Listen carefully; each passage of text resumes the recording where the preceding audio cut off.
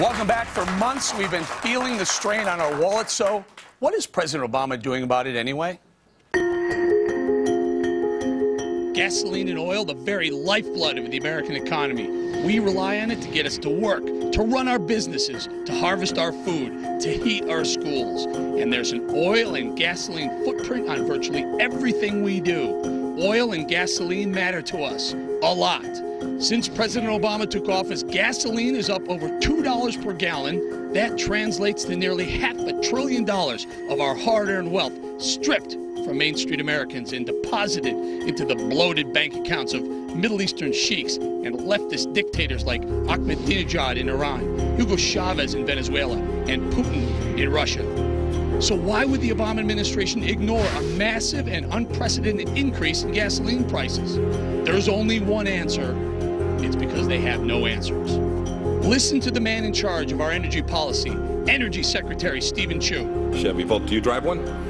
Uh, no, it, I don't own a car at the moment. In controlling the uh, the cost of gasoline at the pump, do you give yourself an A minus? I would say I would give myself a little higher. They give themselves an A?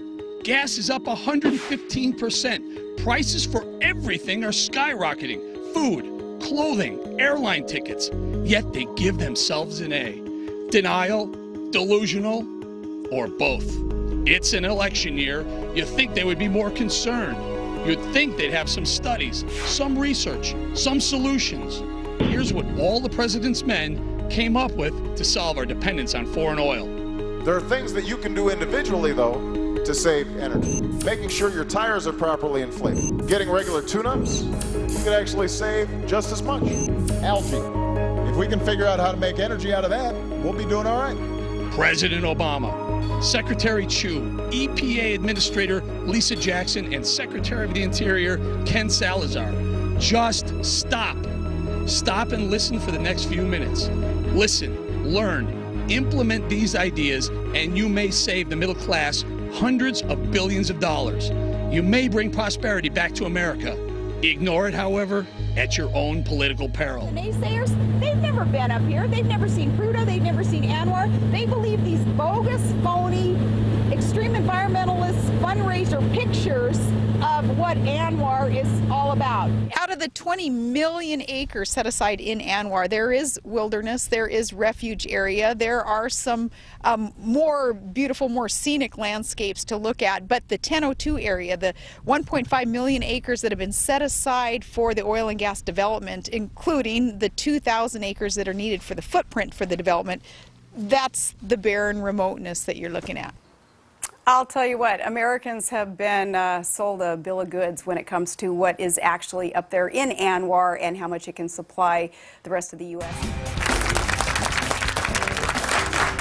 Welcome back. There's not a single person in America who isn't feeling the pinch from this gas and oil crisis. Here's the deal.